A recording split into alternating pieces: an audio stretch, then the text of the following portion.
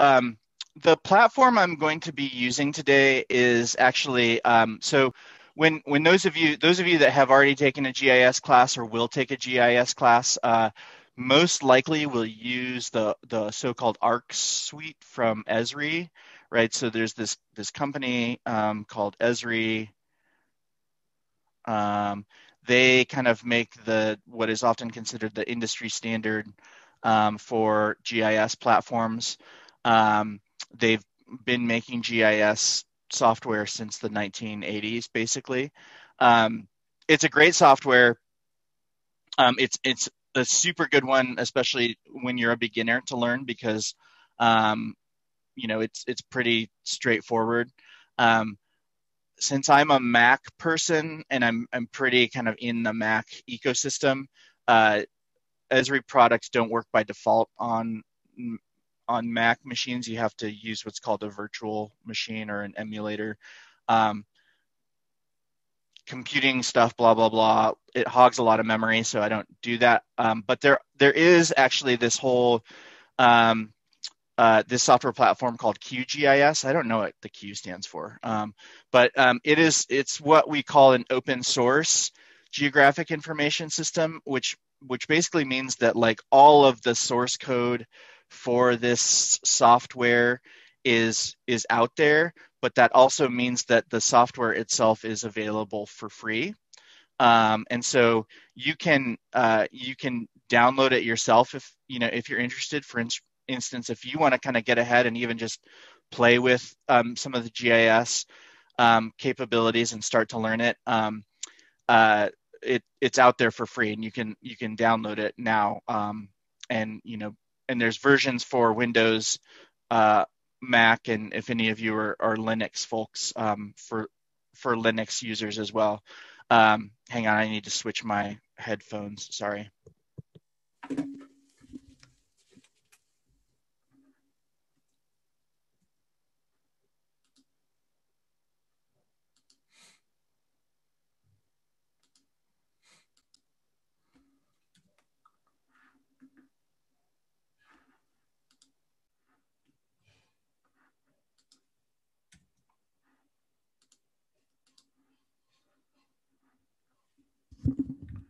Okay, sorry about that. Um, I forgot to charge my battery. Um, okay, so th- uh, this is QGIS. Um, yeah, freely available. Um, and you know, sometimes this open source software, uh, especially for novice users, sometimes isn't the greatest. QGIS is one that has been getting better and better throughout the years, and so it's pretty well at a point where um, you know you can you can do anything that you would want to do in ArcGIS, and so and you know frequently, you know so similar to kind of like uh, Microsoft Excel versus Google Sheets. Um, you know, a lot of the commands even and, and Notion sort of share the, the same name, right? Um, so uh, when when you download QGIS and install it um, uh, and open it, uh, what you get is when you open it is a is basically an interface that looks like this, right? Um, and um, and so again, you know, today is all about you know an, an FYI. Um, don't worry about you know you're not going to be um, you know assessed on any of this. It's it's just for um, this is just for your information purposes and maybe to kind of get you excited about um, some of the GIS stuff that you can do in the in the future.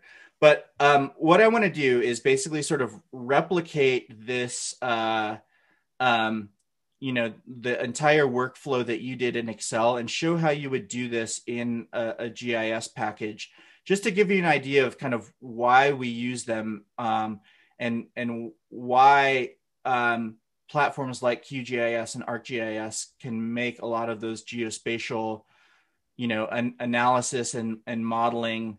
Um, uh, tasks that much easier. Okay, so um, so as we go through, if somebody could for the regression equation in the lab for uh, the slope and intercept of the snow depth and snow density um, equations, if you could um, plunk those in the chat for me so that I have them. And then also that sort of helps you all kind of double check, oh, is that what I got for my regression equation? So if somebody could open their spreadsheet at, or open their lab write up, if they have those figures created, just plunk the equations down in the chat for me and we'll actually use the equations that, that you have. Okay. Um, but as we do this, the first thing that I want to do in this platform um, is that so this is a, an un, untitled project. Um, and so I want to save this, right? So we always want to kind of save our work early and often. Um, thanks. Um, I'll save it here, and I'm just going to call this uh, Geos 212 uh, 2021 02 18. Okay. So I've saved this and now um, the first thing that I want to do, so everything that we have is based on, um, is, is based on our digital elevation model, right? So I need to add my digital elevation data to my, my scene here. So this is often called sort of like a, a scene. And if you take a look here, right, this has um, coordinates down here. It has a scale, which is sort of how far zoomed in you are. You can, rotate it, um, you can magnify, and then um, this here also is telling you about kind of what coordinate system you're looking at. Um, you know, so uh, there's different ways of, of depicting a spherical planet in a planar way. Um, and all of those techniques have, all of those different uh, so-called projections have their pluses and minuses. Um, but all these GIS uh, utilities allow you to kind of change that. And that's one of the big things that you'll focus on in a GIS class is so-called projecting data from one coordinate system to another. Um, so let's add this digital elevation data. I'm gonna, I have a, I have a, a version of it that's at a higher spatial resolution than um, what you all have. So what you all had is basically from, from this file at 180 meters that I made specifically for the class. Um, but I had, um, thanks, Bug. Um, um,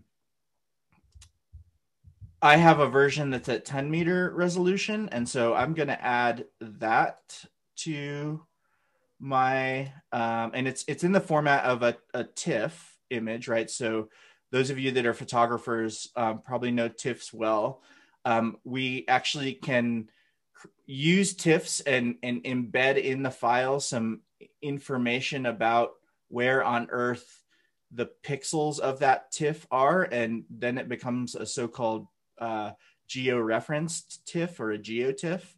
Um, so this is my geotiff of Dry Creek at 10 meter resolution. So I'm going to click open there, and I'm going to add it here to my scene and here is Dry Creek. And as you can see, um, you know, the, the higher resolution yields kind of like a, um, you know, more detailed depiction of the topography, right? You can see more of the kind of dendritic drainage patterns in Dry Creek. Um, so obviously, you know, one of the big reasons we use, um, we use GIS um, is to make maps, right, for presentations and, and that kind of thing. Um, you know, QGIS and ArcGIS, like it, will allow you to uh, change how we depict this. So, you know, you can de- certainly depict it in gray. You can also, you know, you have access to all kinds of um, uh, color. Whoops. Um, all kinds of color ramps um, that you can apply. So uh, we can pick, um, there's some good ones for topography. So the, uh, the one that um, you all had in that, in the sort of slides that you got to look at was blue green. I think with uh, higher elevations brown and lower elevations blue right? So I can click apply and lo and behold, right, I can change the color scheme for, for my watershed. Okay, so um, this is great for making maps. Um, it also has this so-called uh, layout tool, right? And again, ArcGIS has something that's that's identical to that. Um, so I can create a, a new layout, um, and I'll call this like map one. And this is the actual. This is like the actual. You know, you can think about um, this as sort of like this is the map that I want to ultimately build. So I can I can add my geospatial information. Uh, I can add my geospatial information, my geospatial map, right? Um, I can add a legend. I can add a scale bar. Um, I can specify what units I want that scale bar to be in. And actually my, um, I'm in the wrong coordinate system, so this is not the correct um, scale, right? But I can do things like add a uh, north arrow, um, and then I can add text, right, to say uh, this is um, Dry Creek experimental watershed elevation um, and then I can um, uh, change the font size to make it more presentable, right? Um, so, you know, these are, I can center it probably, right? So um, these are, and then I can export an image, right? So let's go ahead and just export an image of this. Um, in in PNG format. I'll call this Dry Creek uh, elevation, and it'll be in a PNG format. And it lets me pick the resolution, right? And um, and so then I've created this now as a as an image that I can then insert into a, a report or a proposal um, or a slideshow right? And so um, you know this is something this is a very common thing that you all will sort of hopefully be and probably be doing in your careers in the future right? Is creating maps of your analyses for um, uh, for clients right or for managers or for stakeholders or for funding agencies right so this is one of the kind of key facets um, that we use GIS for, right? Is is to just kind of make pretty images that are of a quality, right? That that we can then share, um, you know, as on as an ambassador of our company or our agency or our university. Okay, but it's not the only thing, right? Um, and and you know that's that's one thing we use it for, but we we also use it for some very powerful analyses um, so in this case, what I want to do is actually create this snow water equivalent um, map. Um, and um, and I want to I want to do that using the exact equations that we got um, from you know from the analysis. And so um, nobody's can somebody plunk the coefficients, the slope and intercept or just the equation itself into the chat. And then I'll show you how to do this. Uh, and um, as somebody is doing that, I guess what I will say is um, one facet of um, one facet of of geospatial information that we should be careful to um, that I should be careful to talk about here is that um, geospatial information comes in fundamentally kind of two different formats, right? One is what this is. This is what's referred to as a, a raster, right? And all a raster is is a, a gridded, um, it's a you know a, a grid with an every point in the grid, you know, similar to your spreadsheet. Every point in the grid has a um, uh, every point in the grid has an elevation associated with it or um, you know and this is a, a tell right here right so you're not seeing this this grid is actually square right? But what you're actually not seeing are the locations in the grid that have that minus 9999 value, right? So um, the the software is reading this in in such a way that um, that it is telling you or it knows uh, that um, it knows that it reads those minus 999 values and says i'm assuming that you don't want to see these no data values right? So um, so you know what's cool about this is that we we don't need that separate if statement for instance to say if this is no data then don't do anything. It already sort of interprets um, it already interprets that to say okay um, i'm only going to do calculations where there are valid values of data. So okay.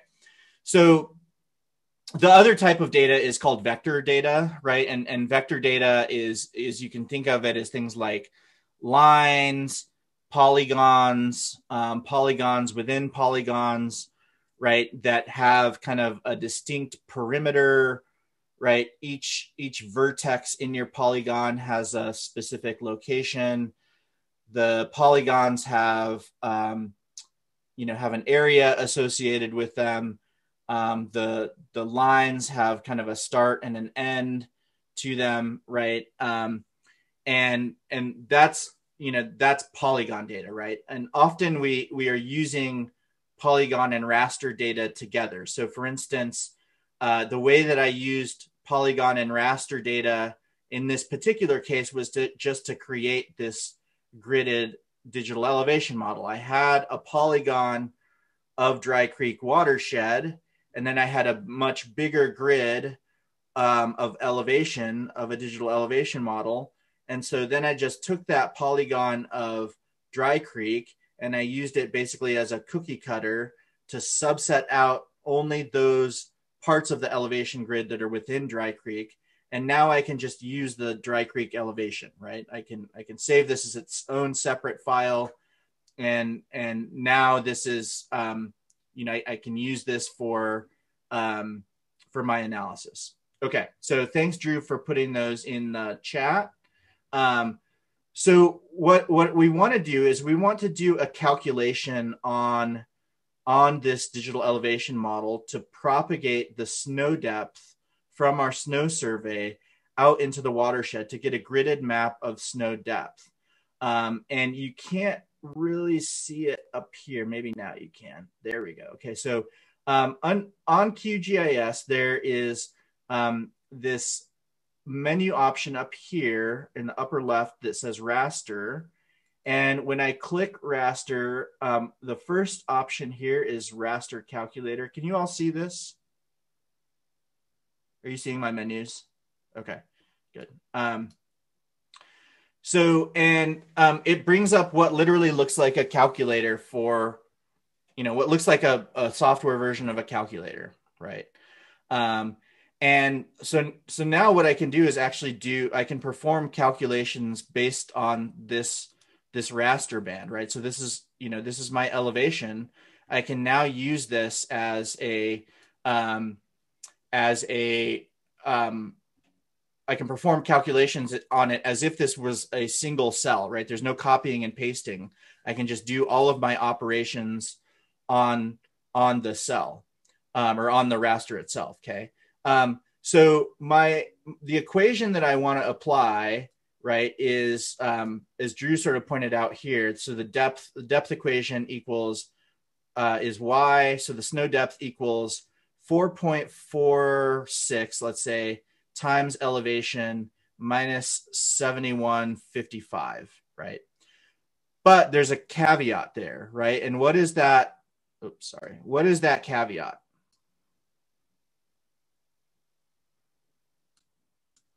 Where do I want to apply the where do I want to apply that equation? Do I want to apply that to everywhere in my watershed? Some of some of you did and sort of found out what happened.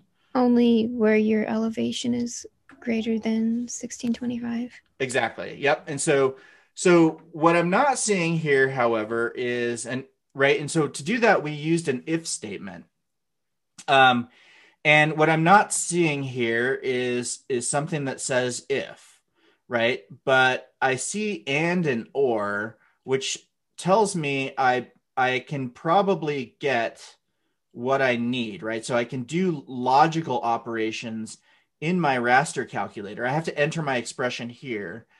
Um, and so that tells me that I need to figure out how QGIS deals with if statements, right? And so when I did this yesterday in preparation for class, um, I figured out that I didn't actually know that, right? Um, I don't, you know, I don't use QGIS that often. Um, so what I did is I had to Google it, right? And so um, what I wanted to Google, right, is um, QGIS, um, and you can see the the history of my um, search here. So I want to know how QGIS does raster, if how you do an if statement in um, in QGIS raster calculator.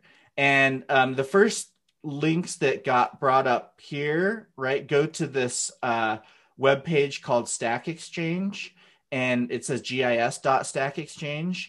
And um, as somebody who uses tools like this fairly often, um, I know that Stack Exchange is kind of where GIS professionals, um, as well as kind of novices, um, go to uh, ask their questions and get help from the broader community. And so seeing that Stack Exchange was at the top here told me that th- these answers are probably pretty legit, right? Like the the dialogue on here is a pretty legit um, dialogue, and so I I could probably be reassured that I might find the answer that I want in here first of all, the important insight that I had is that um, I'm sure that I'm not the only person that has had this problem. And so if I Google it, I probably will find the answer that I need. And so it turns out I picked this. Um, this answer here was from you know April of last year, and so I was like, okay, QGIS couldn't have changed that much between April and now. It might have changed a lot between March 2017 and now. That's almost four years. This is less than a year. So when I click this, right, somebody is asking this question, and an if statement is just a, a conditional statement, right? So, um, you know, we called that kind of logical argument the condition, right? The condition that we want it to do something if it's true, and we want it to do something else if it's false. And so, um, somebody says, okay, is it possible in QGIS either directly or via plugins? So those are kind of external software that I can use within um, QGIS to do a raster calculation, including an if statement. And they say, for instance, if raster is raster one is greater than 0.3, then do raster one times raster two, else do raster one times raster three. And so the first answer that comes up here in this case, um, uh, they we'll get into the answer itself because this is exactly what I did and it worked. Um, but the first thing that I want to point out to you is that it has this green check mark next to it. Um, and what this means is that um, what's cool about Stack Exchange um, is that whoever asked this question, right, they looked at the answers and they tried, you know, one or more of these things. And this answer actually worked for them. And so they went ahead and said, said, yep, they indicated a check mark to say, yes, this solution worked for me. This answer worked for me. And what's great about that, right, is that I'm probably no, you know, not that much different from whoever posted this, um, Kadir Sabaz, right? Like our problems are probably not all that different. He's trying to multiply two rasters. We're trying to multiply a raster by a constant and add a constant, right? So very similar problems. And so if that if this answer was good enough for him, it probably is is good enough for me. And so what what this answer says is in QGIS raster calculator, the comparison returns zero. So if, if false or one if true. So you can write a conditional using a sum of products. But the key thing here is that it says, okay, so this this statement here, so raster one greater than 0.3, right, where that is true in our in our raster, it will return a value of one, right? Where it is not true, it will return a value of zero. So let's just try something in our raster real quick, which is to say, um, so I want to create a new output layer, and I'm just going to call this test con for conditional statement. Um, we'll have it save in that same directory. So it's going to actually save it as an output layer called test con. And what I want to do is is ask the condition. Okay, so um, uh, Dry Creek, um, Dry Creek 10 meter elevation. So that's the raster band I have here. What I want to ask is okay, where this is greater than or equal to 1625, right, which was that snow cutoff elevation, 1625. And I'm just going to do this calculation, right? I'm just going to leave it here because what I'm expecting is that this is going to return a new raster layer where um, all of the um, all of the values um, that everywhere in my watershed that is greater that has a, an elevation greater than 1625 meters will be one and everywhere else will be zero okay? And so um let's see. Oh, that's why. Okay so i had my my greater than and equal to were far apart and so it was thinking that it was two two different operators. Um, okay, so let's click OK and see what happens. Um, and in in fact, the colors are a little bit wonky. So um, let's color. Uh, let's color this something else. Um, we could do unique colors. Um, let's see. Okay, so that's fine, right? So, okay, so now I have this thing that says, all right, anywhere there is uh, a one that has an elevation above my snow line, any place that has a zero that has an elevation below my snow line. So I can apply my equation only where I have a value of of of one, right? Um, so cool. Now, well, maybe the thing that we should do is actually just get the values of elevation, right? Where, uh, where I expect snow and have a, a zero everywhere else, right? So I could do that with raster calculator pretty easily um, just by multiplying these two rasters together, right? So if I multiply this one zero raster times my elevation raster, what I will get out is a raster that either has a bunch of zeros or has a bunch of elevations where I want to apply my snow equation, right? So, all right, so let's call this like uh, snow elev.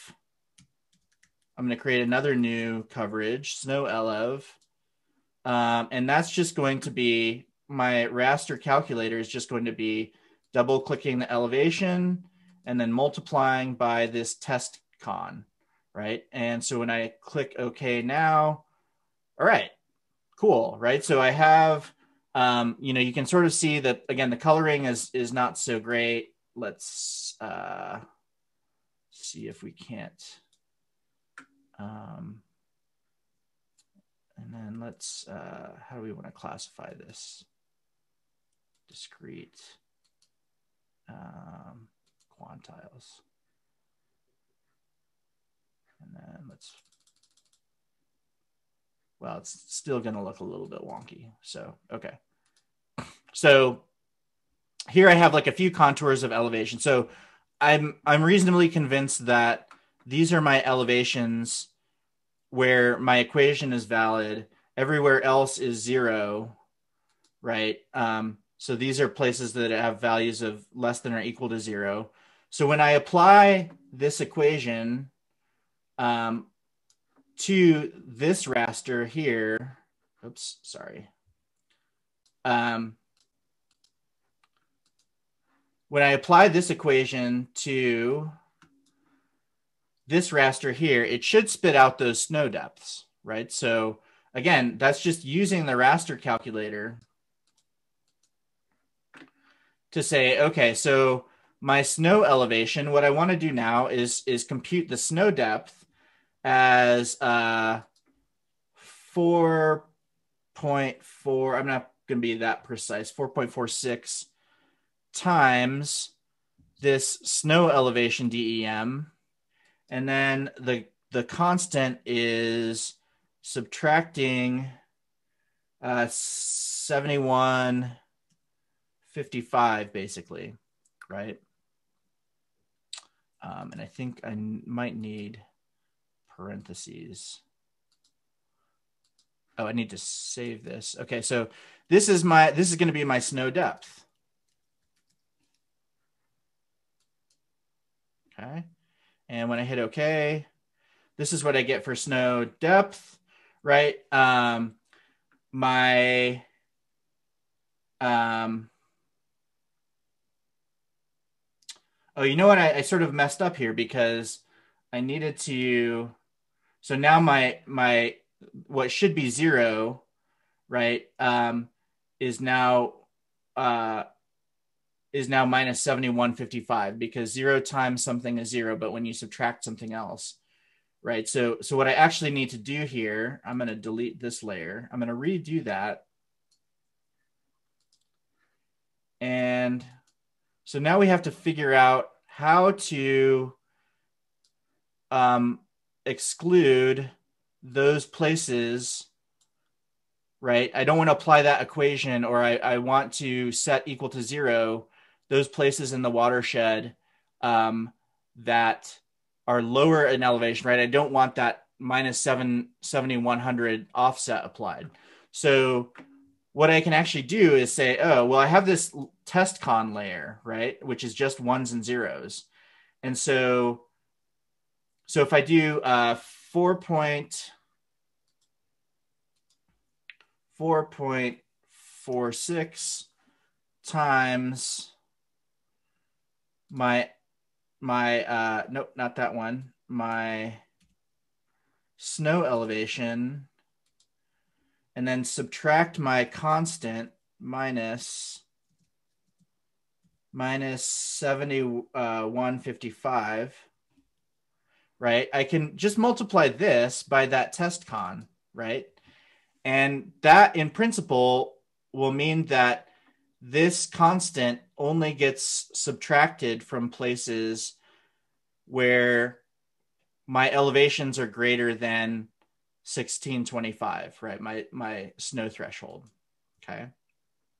Okay so i'm going to save this now as my snow depth map. Snow depth. And it's going to oh it's not going to complain. Okay. So uh all right, so all right, so this is this is looking more promising, right? So um, you get zeros here, and again, it's it's hard to see given the rendering. Um, sorry about the. Um, zeros, right, where I get zero elevation, but it starts to increase as I go up in the watershed, and it maxes out at about 2,300 millimeters of snow depth, right? Okay. So same thing for snow density. Let's just do exactly what we did for that same equation.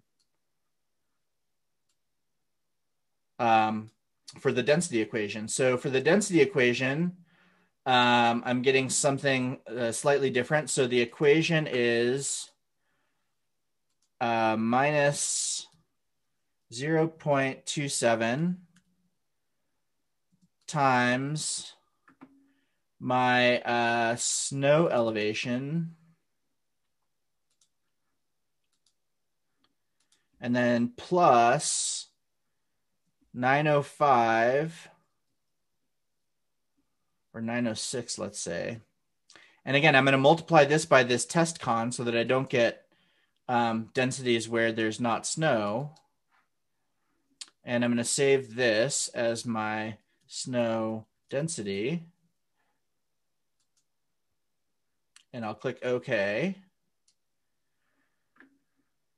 Okay, so also looking good, right? This and this here it's much more clear, right? Um, because the the snow density, you know, you don't get sort of uh, there was a minimum snow density of something like 400 kilograms per cubic meter, right? In my um, in my snow density observation, so I wouldn't expect a value of zero right here on the periphery. Whereas for my snow depth map, right, it starts off with really shallow snow packs here.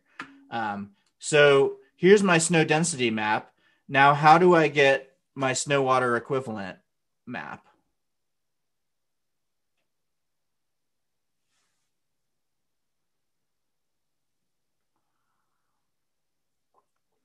What did you do in the spreadsheet?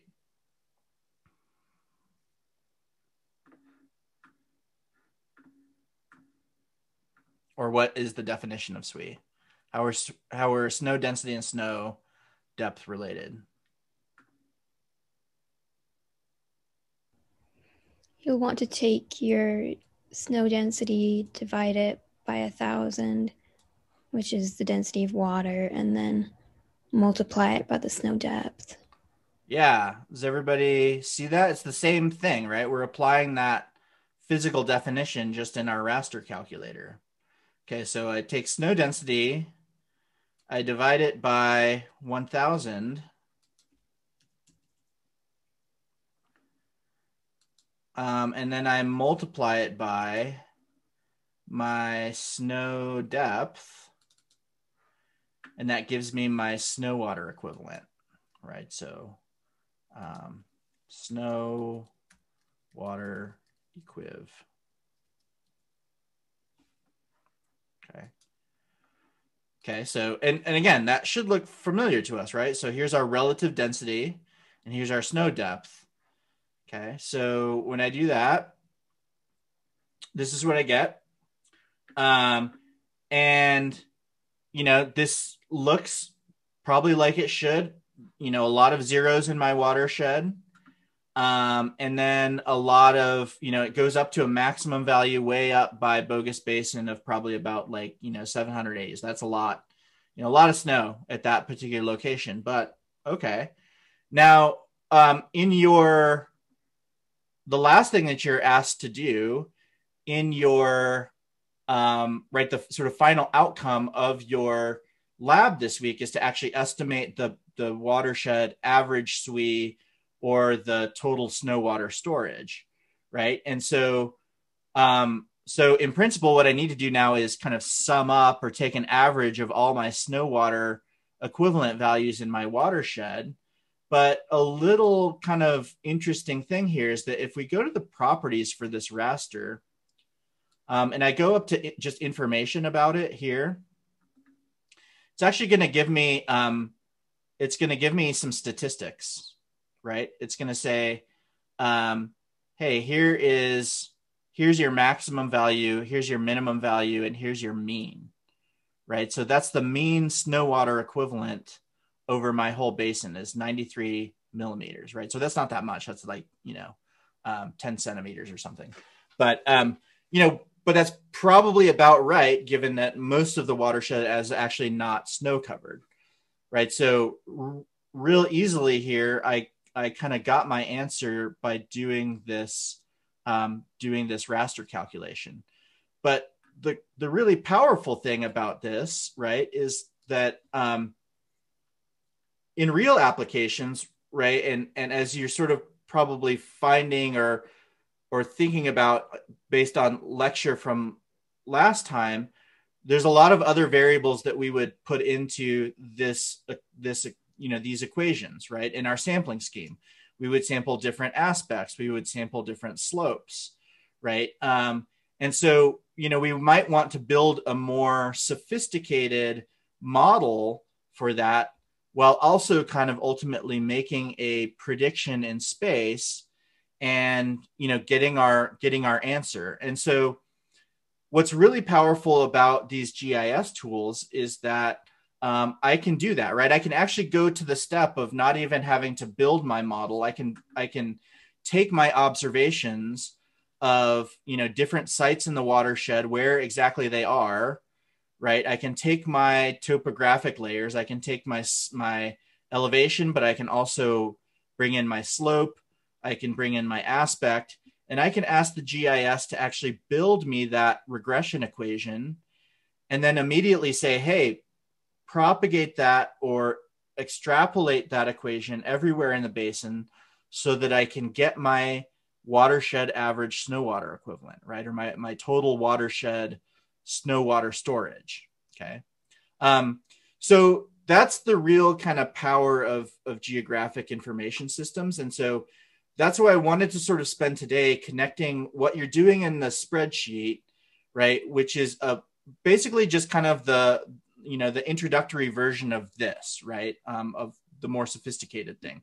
So everything else that you would do that's more sophisticated is you know just kind of um, a couple of steps, you know, a couple of levels up, you know, from what you're actually doing, right? So we basically used if statements right? We we looked at that condition, how to do a conditional statement in our raster calculator. We used our regression equation to make predictions of snow depth and snow density throughout our watershed. We used our definition of snow water equivalent um, to use that density and snow depth um, to calculate SWE. And then we were pretty straightforwardly able to get the sort of watershed average snow water equivalent. Okay. But fundamentally, that workflow was all built upon the things that you were doing this week in Excel. Okay. Um, but also, this gives you kind of the motivation to see how this connects to what you will ultimately be doing in your GIS courses, right? And potentially, you know, um, for those of you that get, for instance, into um, uh, geostatistics as seniors, um, or as graduate students, you know, you'll do more advanced versions of, of that. Okay. So that's how this kind of ties together. Um, does anybody have any questions about that or, you know, and, and I would open it up more broadly, you know, don't worry about the individual workflow, right? Or, um, but do you have any more questions about kind of the, you know, how you might use a GIS or, or other ways other questions about how a GIS might be valuable in these kinds of questions?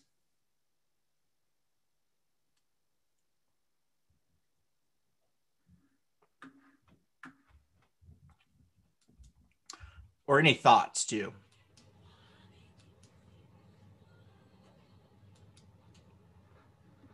No. I hope you all didn't know this already or have already seen this but I hope it was helpful as a mechanism to connect it to things you might be doing. Okay. Now I'm worried that like I've bored you all for like an hour. So you didn't I wasn't bored, but this was a lot of I definitely didn't know anything about this before. Yeah.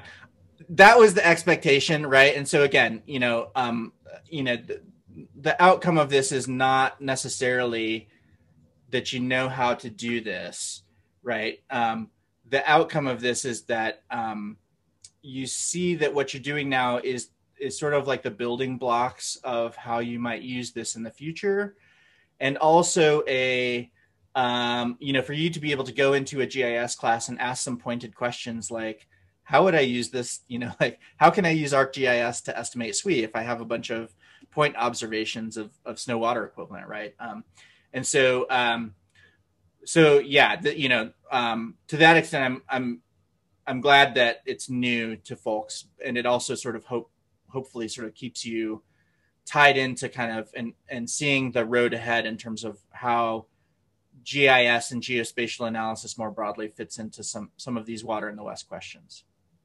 Okay.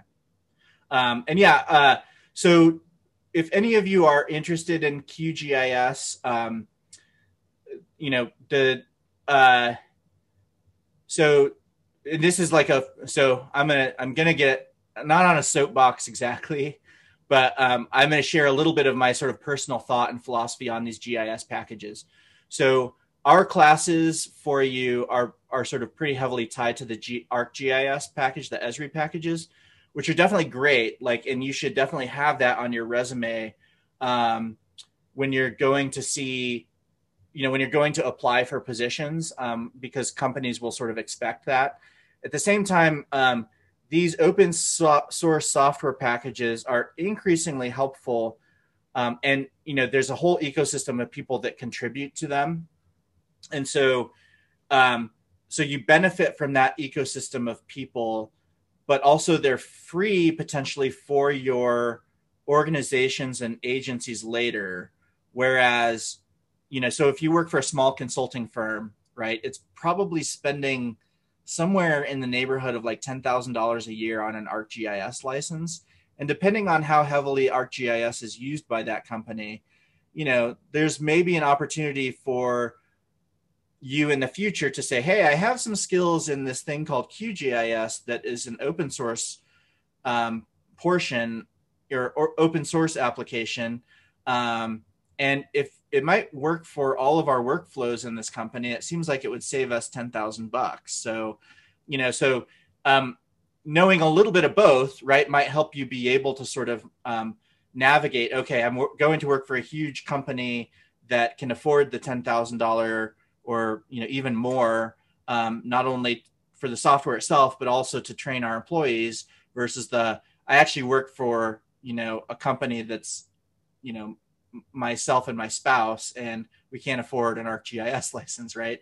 Um, especially when we're using it just to do some very basic analyses. And so um, so all that's to say that if you if you would like exposure to or more formal exposure to some of um, these open source GIS packages, um, please make that known to uh, the faculty and to the instructors of that class because I think it's increasingly something that's important we give to our students. So, so Sam, yeah, how would the process be for doing this in ArcGIS?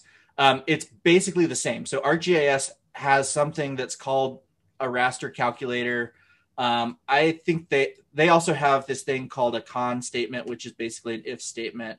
Um, so let's Google it real quick. Uh, ArcGIS. Um, so you know, here's kind of the help for it, right? So it it looks largely the same, right? It basically looks like a calculator for your rasters, um, and you know, yeah. So it it has a couple of additional features having these um, so you can use this conditional here con statement right? So you could say um, con uh, raster greater than or equal to 1625 to get what we basically got right? So um, you know yeah and and and again a lot of a lot of this is about right like getting you all to a point where you have the skills um, right what's more important to me is that you know about the con statement so that um, if you start to work for a big right like what i worry about with our students is that if we're if we're training them to be too tightly coupled to esri and then they go to work for a company that doesn't have esri products but they have access to qgis making sure that they're not just the specific skills but the general knowledge is solid enough to go like, oh, you know, like yeah, that's a bummer. You know, I'm I'm really used to Esri products, but um, uh, but I could figure it out, right? Like it's just a couple of you know a little bit of googling and you know doing some digging and knowing more importantly knowing what to look for and maybe knowing some of the the phraseology of how to phrase those Google searches um, will will help me um, you know figure it out in in this other platform. Uh, any other questions that folks have? Otherwise, we can just wrap up and we'll see you all at the trailhead next week. Um, so for next week on Tuesday, um, will you email us about the people that don't have a ride just to um, sort out those details? Yeah, for sure. Yeah, I, I, I will do that. Um, uh, I'm going to email each group individually. Well, not the Saturday group because it does it looks like transportation is taken care of there. Um, but I will email you all as a group. Uh, I'll actually do that right now um, to arrange that for sure. and I probably could give a ride to somebody from, you know, from Boise on Tuesday. Right. The the trick the trick with me is just well, a I'm gonna have my daughter because I I screwed up the scheduling, and so she's coming to do snow work with us. Um, but then uh, B right, I obviously have to be up there all day, and so you know there might have to be a getting a ride up with one person and then getting a ride back down with somebody else. Um, well, we can figure it out. I'll email each individual group. Thank you. Other questions?